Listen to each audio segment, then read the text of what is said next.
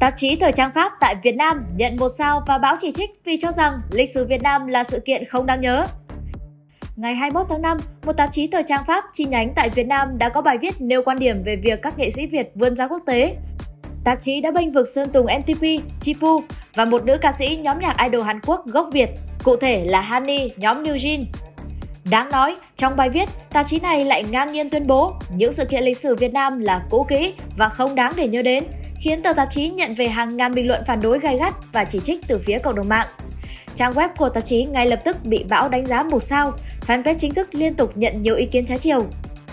Trước áp lực dư luận, tạp chí này đã gỡ bài viết trên cả website lẫn các nền tảng mạng xã hội. Tối ngày 22 tháng 5, tạp chí đã có bài đăng chính thức xin lỗi đến độc giả và đưa ra hướng giải quyết cụ thể. Đội ngũ thực hiện thừa nhận đã thiếu cẩn trọng trong quá trình biên soạn bài viết, đồng thời khẳng định sẽ nghiêm túc thực hiện quy trình biên tập cẩn trọng hơn trong những bài viết tới. Hiện sự việc trên vẫn đang khiến cộng đồng mạng xôn xao. Dù đã đưa ra lời xin lỗi, nhưng tạp chí này đã mất đi hình ảnh trong mắt dân tình. Còn bạn, bạn nghĩ sao về trường hợp này? Comment ngay cho TV Chen được biết nha! Đừng quên nhấn đăng ký theo dõi kênh để ủng hộ cho TV Chen và cập nhật thêm nhiều tin tức thú vị mỗi ngày nhé!